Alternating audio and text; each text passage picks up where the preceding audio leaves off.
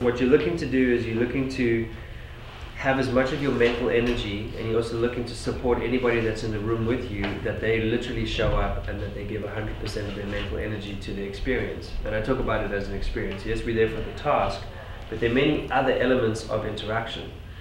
There's the fact that you're going to be in a room with people you may not know or that you, you're looking to you're looking to share your intimate thoughts, you you are working against a task, you may have some ownership in it. There's so many different things. So there's a there's a climate and there's a lot of mental energy that goes to that. In order for you to give anxiety-free energy into any kind of creative space, if you look down on the below axes, there's from punishing, adverse, uh, adversarial, supportive, cooperative to collaborative. Now, all of those words before collaborative feel to me, when I always look at those or when I talk about those words, they feel like you're just doing enough to get by.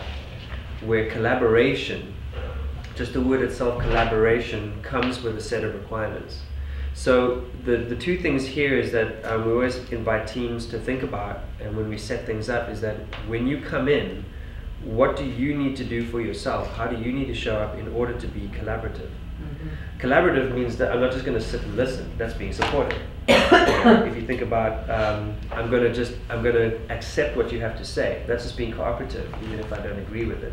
Collaboration means I'm going to assume positive intent about what you have to say, and I'm going to listen to it with a fresh perspective and build on it. And I'm going to share with you my fresh perspective. We talked about crediting and building. I'll acknowledge you. Um, you know, thank you for your contribution. Uh, you know, wonderful thought. It makes me think of. You know, what Alex said really inspired me to think this way. Whatever those things, acknowledging, crediting, and building is just acknowledging I hear you and I'm thinking about this. You know, I was really sparked by Corey's idea. You know, Connie really made me think while she was sharing about that. It gives it gives shared ownership to the process of expansion, thought expansion.